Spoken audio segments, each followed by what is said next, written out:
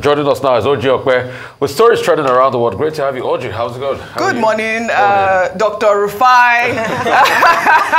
How are you this morning? Oji. Yes. I don't go agree here. Oh yes, my I don't agree here. How are you? And then guess who we have here? Vim, Good Vim. morning, our favorite Nijawa. Thank you. Vim, Vim. Vimba, it's so nice to have you on set It's with to us be today. How are you this morning? Fantastic. I can't wait to hear all you have to say on what's trending today. Ayo Good Bide, how are morning, you? I'm good. Guess Thanks. what now? Rufai has three, blessed with three women on the morning show. How How they say it lucky, how lucky is he? Eh? They say they say, um, Balogun la- láàrin obìnrin. Balogun, like, you know, you know, on the weekend you know, 'cause he shows, loves on the the guy. weekend shows on Sundays, it's almost like this. You know, oh, so Oh, Steve yes, Ayori, that's they- now we call him Steve and his angel. So Rufai, Oh. and he's His blessed with all your angels this morning. Well, all right, all right. Well, good morning to you, viewers. Let's begin what's trending. On Monday, President Bola Ahmed Tinubu attended the second term inauguration of Governor Hope Uzodinma in Imo State, where he assured Nigerians that he shares in the pains associated with the removal of fuel subsidy. The president also admonished those he says have been responsible for stealing Nigeria's commonwealth in the past 40 years in the name of subsidy.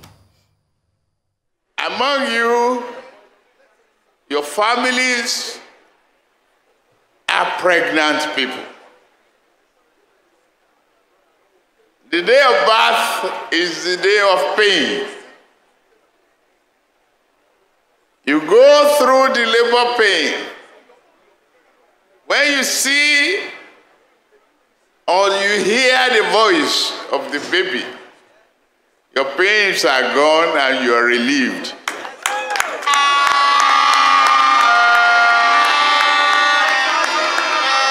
Nigeria is succeed.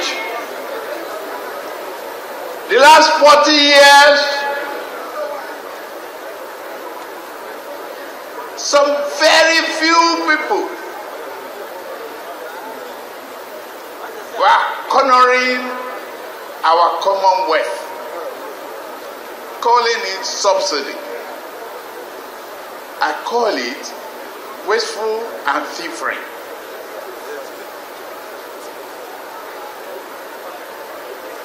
But right now, we are going through the pain. We are sharing that pain. But today, we are inaugurating a man's second term, a renewed hope. And that is why I am here. Yes, sir. We love you. We love you. To guarantee you that hope. That things are looking up.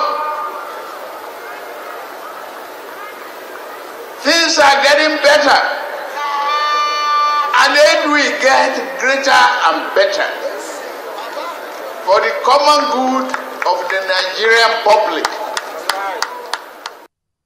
I guess all we have is hope. We keep hope alive. I mean, I don't know, uh, you know, where the president is getting some of his rhetoric from. I mean, you guys took a story today. Inflation rate is up at 28.9 percent. Well, the president also assured Nigerians not to be bothered about the mass exodus of skilled workers from the country, assuring citizens that the federal government, in collaboration with subnationals, will train more persons to fill the professional gap. Don't worry about what you are hearing about the Japa syndrome. We will train more people. And then we can supply themselves.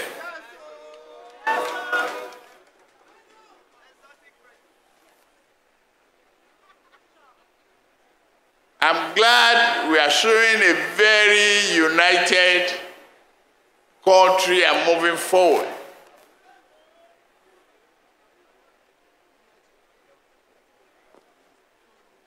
The peace that you are enjoying here relatively will be better.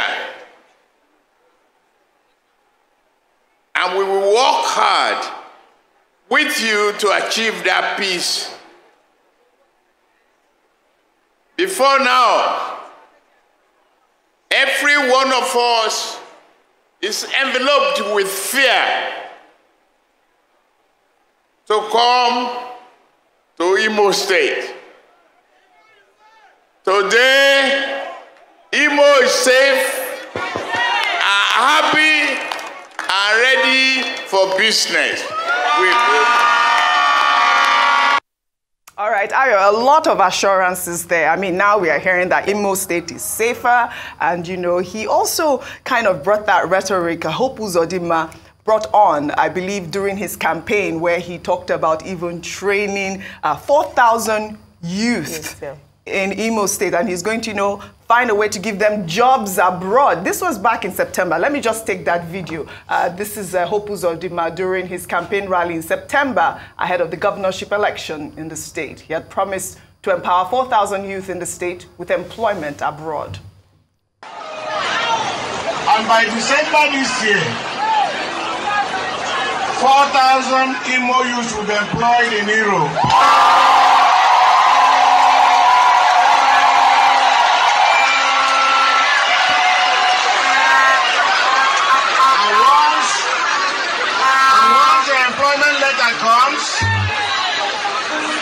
The governor will pay for your air tickets. Now, the president and Hope Uzodinma speaking the same language. Uh, the president has said, you know, don't worry about the Japa syndrome, syndrome, that is the mass youth exodus. And now uh, we, are, we don't know if those 4,000 people have been sent abroad by uh, Governor Hope Uzodinma. Well, according to the Commissioner of Information in Imo State, when we had him last week, he said we misinterpreted oh, really? the okay. intentions and the, and the statement made by the governor. He said he meant that he wanted to train 4,000 Imo youths to be employable, such that when they go abroad, they would get jobs. Not that he was going to. Um, oh. So, you know, the thing, we now need, there'll be speeches and there'll be interpretation of it. But we all watch what he said. He said he was going to, and they all, there was jubilation that the, the governor was going to give 4,000 1,000 young people in Imo State jobs in Europe. By the way, the president also, by his statement, has also said Nigeria has now introduced a new export uh, material, and that is human. By exporting our people, we train them for the outside world. We keep retraining them so that we can they can continue to jack back and not recognizing or admitting the fact that because we are failing the young people in our nation, they have no choice but to leave their homes to go abroad and work menial jobs in some sense just to make ends meet. And we are proud of that. We shouldn't be. It reminds me of what the former Minister of Labour and Employment, um, Mr. Chris Ngige, said with the doctors, ex mass exodus of doctors, that, oh, if they let them go, we have many doctors. And look at the crisis we have on our hands in the health sector, where we don't have enough doctors to meet the needs of patients in our hospitals. Rhetorics like this, even though it might seem like, oh, he's trying to make a bad situation look good, and as leader, he wants to position well, do more harm than good. Yes. We don't solve problems by burying our head in the sand and making statements that seem as if things are good, we are just all hallucinating. There's a word for that, is gaslighting. Saying that what is not is, for instance, the number of things I'll mention in the speech he made. Yes. The first is that he said that the economy or things have gotten better. Has the president been briefed on the recent inflation figures? Has he been briefed on the current exchange rate of the naira to the dollar? Has he been briefed on food inflation and the fact that people cannot afford to eat? Has he been briefed on the insecurity situation that happened just in his backyard in Abuja and also across the, in Benue State, in other parts, in, in Jos, we are just talking about Jos the other day. Has he been briefed? Because it, it begs to it begs belief as to how he is judging that things are getting better. Mm. An acknowledgement and an, an, admittance of the reality of things on ground is not an admittance of failure. Yeah. What you then do as leader is to end it on a note of hope. I mean, on, in the renewed hope agenda, um, um, um, you know, tenure, a note of hope that I understand, and he said it at the beginning. You know, I pay um, pangs of childbirth, etc., which has been part of his campaign from time even up until, or when he removed fuel subsidy, mm. up until now. But an acknowledgement of a situation is a sign of empathy as well. Yes. And it shows that the people can trust you because you acknowledge that there's that we have a problem on our hands, but as leader, I will fix it. That's what Nigerians want to hear. Absolutely. Not whitewashing, almost, you know, or painting a bad situation as okay and not okay, and, and, and that's normal. The other thing he said was that Imo State was safe. Oji, speak to the Imo people. It's still described as a hotbed of violence. And so this coming out, I don't know if it's now a technique where the governor and the president are saying so that just to um, pre- present that front. His but it's on, Hope, yeah. yeah. Governor Hope name.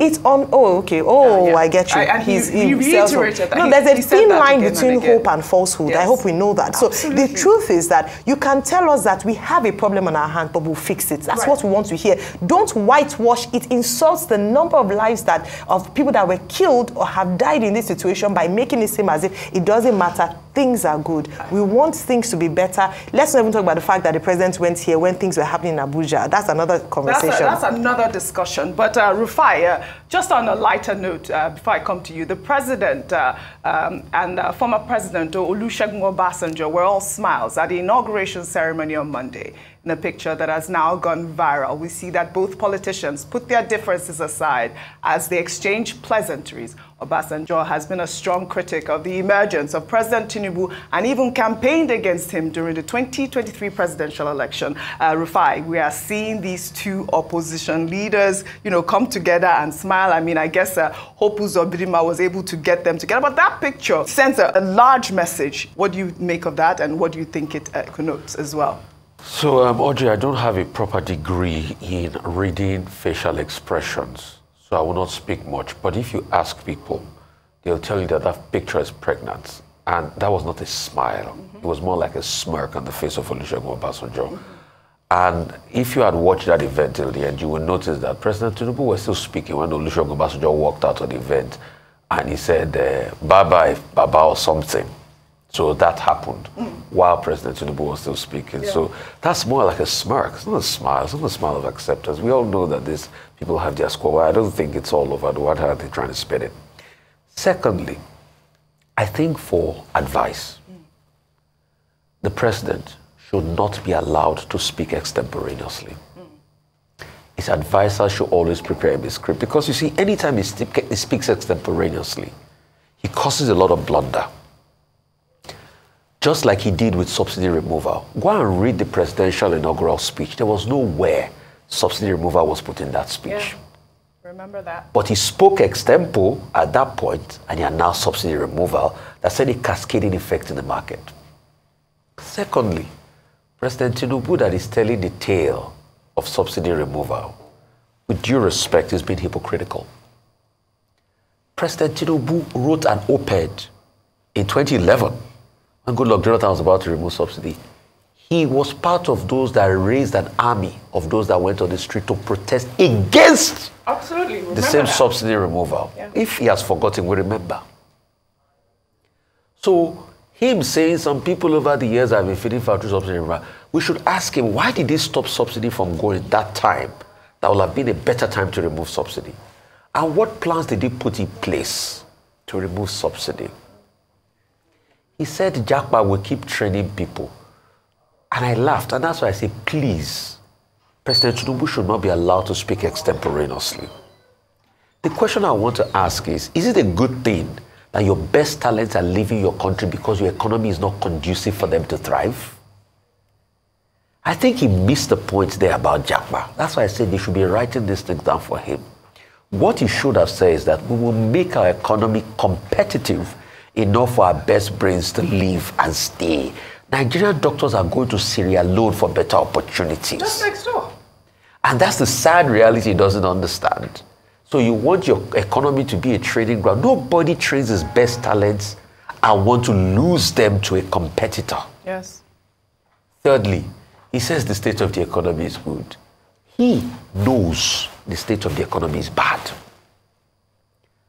This was the same President in Tinubu that in his major hub, Lagos Island, he was going to the mosque and people were screaming, Ibi Bami. He knows that the state of the economy is at an all-time low in this country. So him saying the state of the economy, and the part that is unforgivable is saying, oh, nothing about those that have been kidnapped. Yes. I know you both have I spoken thought about when he talked about that. security in Imo, which has not improved, likely if you ask people on ground, I thought he was going to, by extension, say, and for those that are facing the scourge of kidnappers, I will work with you, I'll be your president. Right. So when you look at all of this thing, it's another missed opportunity. And I'd like to ask, I might be wrong, please, I don't know anything. If President Tinubu sees the need to attend Hope Uzodinma's second term inauguration, how many governors' inauguration will they attend in the country? Yeah. Because I don't think it was necessary in the first place. Yeah. They were pertinent issues that could be. A governor should be is a subnational. And for Governor Hope Uzodinma, I think he should be more concerned about how to bring investment and foreign investment to his state.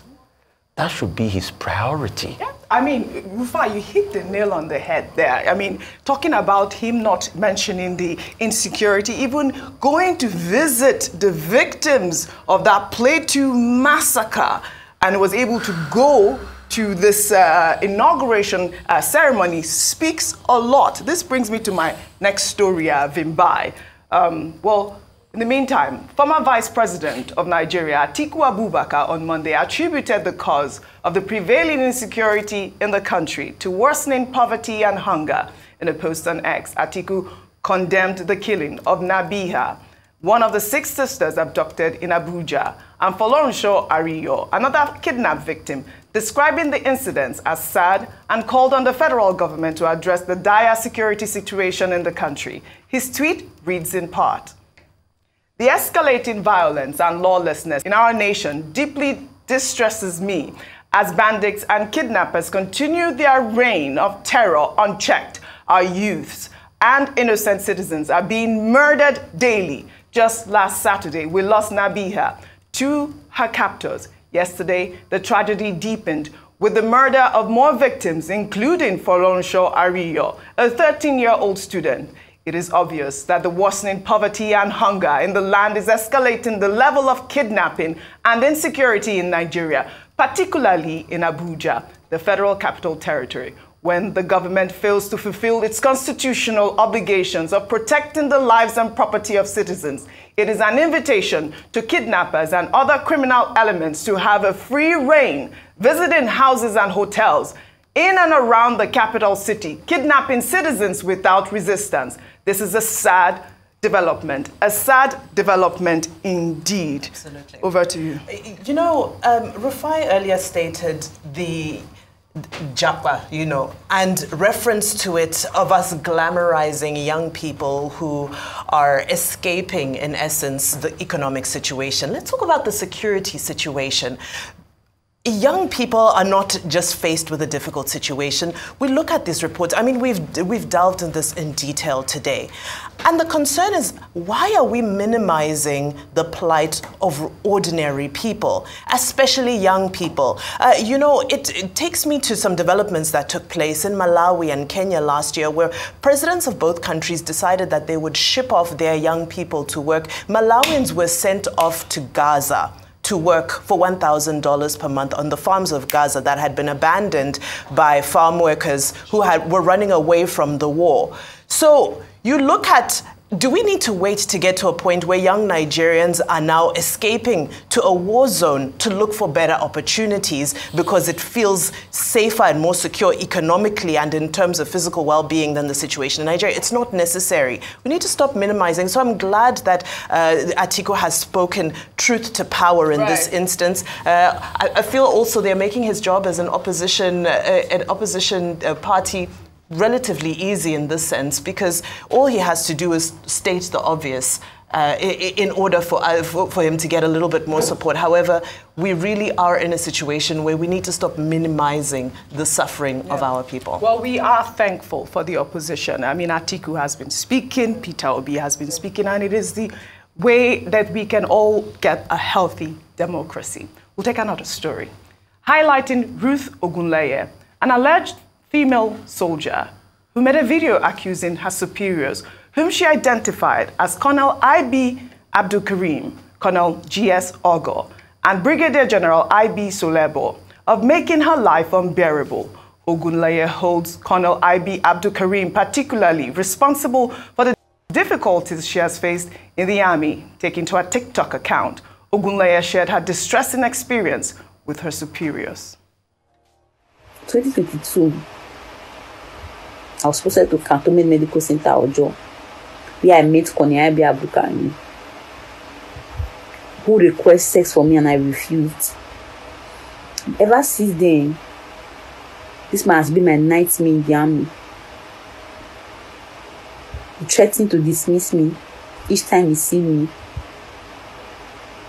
He injects me, come to my room to inject me. My own apartment, come to my room here to inject me. Send some boys to my house. If I'm lying, I have all evidence. I have evidence against him. And I have witnesses.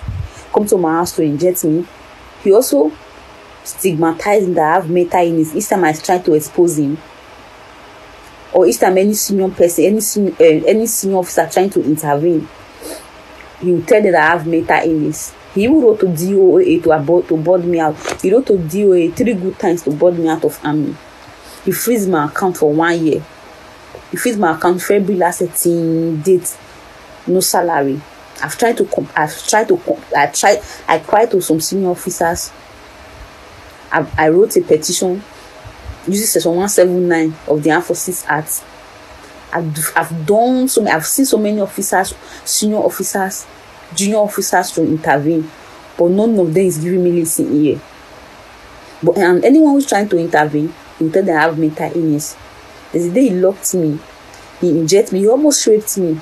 When they caught him and he said I have mental illness, he took me to psychiatry hospital. He went to lock me up there. He locked me up there for one good month without any medication.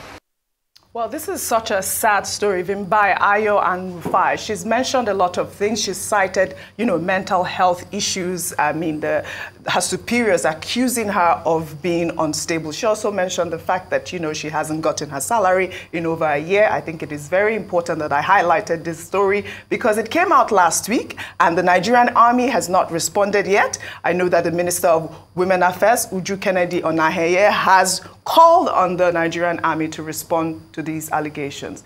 We hope that we hear something from the army. We'll take another story. The Code of Conduct Bureau on Monday says it has commenced an investigation into the alleged breach of the Code of Conduct for public officers by Olubunmi Tunji-Ojo, the Minister of Interior.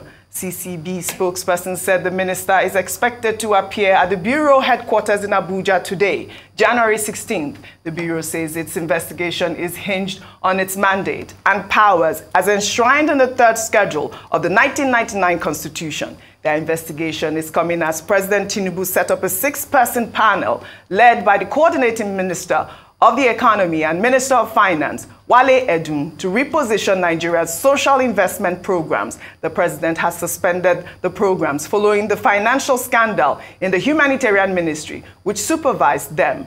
Tunji Ojo is linked to the scandal after a leaked document showed that New Planet Project Limited, a company founded by the minister, got a whooping 438 million naira consultancy contract from the Ministry of Humanitarian Affairs led by Betta Edu, the suspended Minister of Humanitarian Affairs and Poverty Alleviation. Well, CCB is doing their job at this time. We know that the president has set up that panel to investigate. You know, but there's a lot of conversation regarding uh, this minister at this point, whether or not he should step aside while the investigation is ongoing. I, I mean, Rufai, I don't, I don't know if you can quickly make a statement so we take our last Real story quickly, on that. I'm happy that CCD, CCB has stepped in. You know why? Because in 2019, when he made his declaration of assuming the position in the National House of Assembly, he made a declaration and he filled the CCB form. It is based on that form the CCB will need to grill him when he was stating the source of wealth.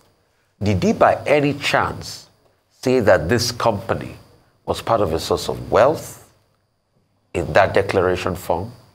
Secondly, was there a proper resignation for the company before assuming government position?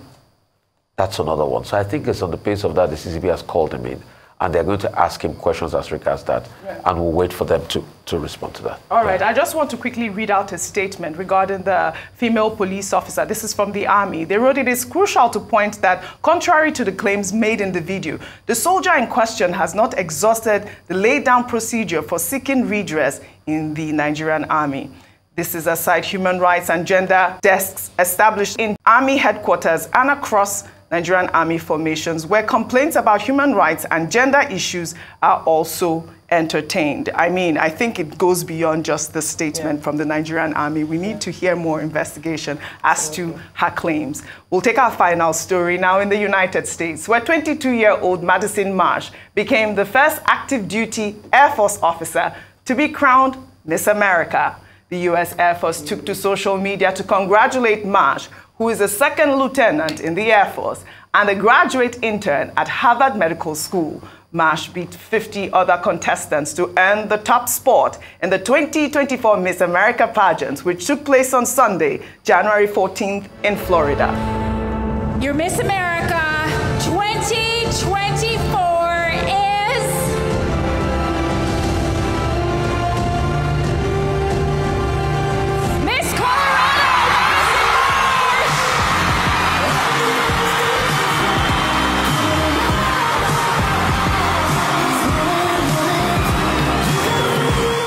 I mean, this for me was just a huge, huge story. First of all, she's 22. She's in the Air Force. She's a half. You're smiling too much, Rufai. This is your spec. I'm recommending her for you. Brains, right? Both of you really quickly. We yeah, have only 30 congratulations to her. Something she also talked about yes. was also dedicating to her late mom yes. who died of pancreatic yes. cancer. Right. That, that, was such a sweet spot. And just mm -hmm. to see her doing what she wants to do and still acing it. You I love it. I love, love it. What a man can do, a woman can even do better. I mean, why? You're Charlie, you're angels. What do you make of us now? He's blushing. You're you guys are more much. than Well, all right. Now, thank, I'd like to thank you all, uh, Rufai and his angels, for your great analysis on what's trending today. Well, that's all I have for you on what's trending today. I'll see you all tomorrow.